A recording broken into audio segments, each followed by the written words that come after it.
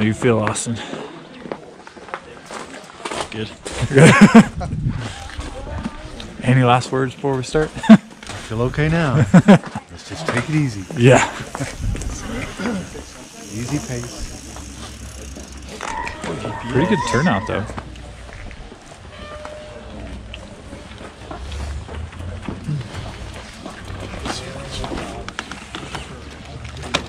The bike looks pre-ride.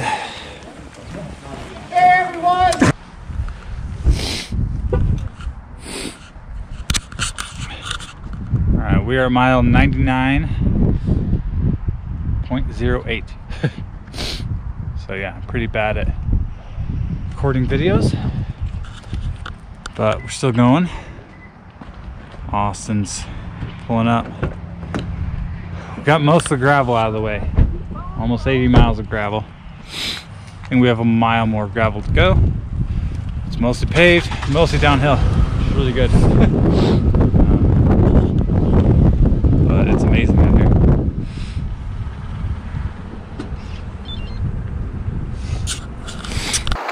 All right. Mile 136.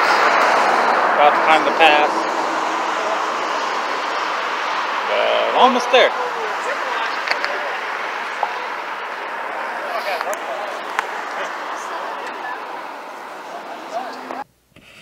All right, guys. Welcome back to Wild Outdoor Living. So we we finished the ride. Um, we made it all 154 miles, and it was quite the experience. Um, you guys can definitely read about that on my blog in much more detail. And basically, didn't get as much footage as I wanted to, uh, just because we were kind of on a time crunch to finish while the sun was still up. You know, we finished with plenty of time in 13 and a half hours, uh, but it was a little bit of a concern, so I didn't want to stop too much once we were actually out there. So what we're going to do is actually go over the bike, um, go over the, the gear that worked, what didn't work, and uh, kind of what I thought about everything. So the checkpoint, as always, worked amazing. It always surprises me just how capable this bike is. Uh, it can really handle a lot of mixed terrain. Once on the road, it was very fast, but on the in the rocks and in the washboards, uh, it was it was extremely well planted. Uh, handled really well, and overall, I was really impressed throughout the day. The only thing that I would change on the bike itself would be the the front crankset and possibly the cassette as well. What I've got on there right now is adequate, um, both 8,800 feet of climbing uh, and a couple big passes in there. Definitely was at its limit in terms of in terms of gearing. I definitely could have used a lower gear for sure. Uh, it was usable, but it could have been lower. So when I can get a hold of a 4630 crankset and possibly figure out how to get an 11 to 40 cassette in there, I would love to. But at least getting that crankset, I think, would make a big difference. Austin had that gearing on his, and he, he was able to pedal noticeably faster in some of the steeper climbs than, than I was. So uh, other things that worked really well, the tires actually cleared just fine. So it looks like the back tire may have touched the frame, just maybe tapped it a couple of times. That spot looks slightly cleaner, essentially. Um, but I can't really tell for sure. And so certainly over 154 miles, if there was going to be a clearance issue, it would have been much worse. And, and I didn't see any any issue at all from those tires. They they took a ton of the edge off on the rough stuff.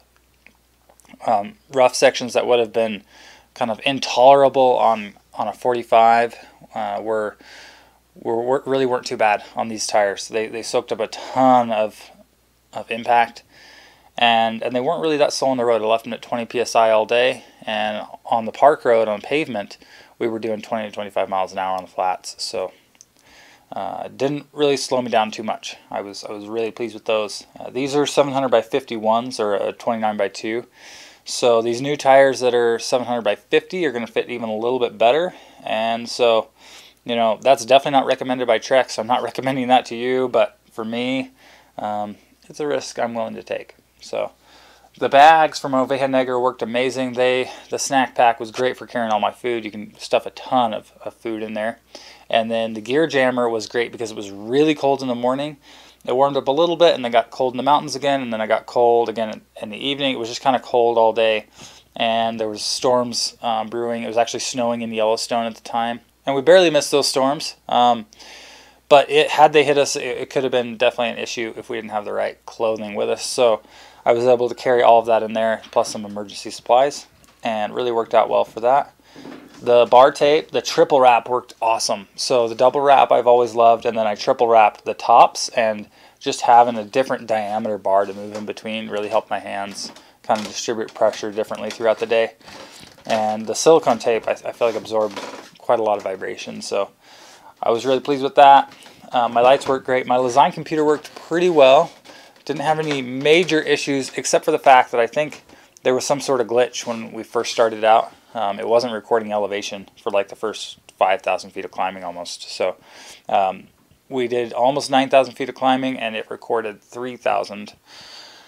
So I, I th- think there's an update I'm supposed to do on that, but that was the only downfall with that.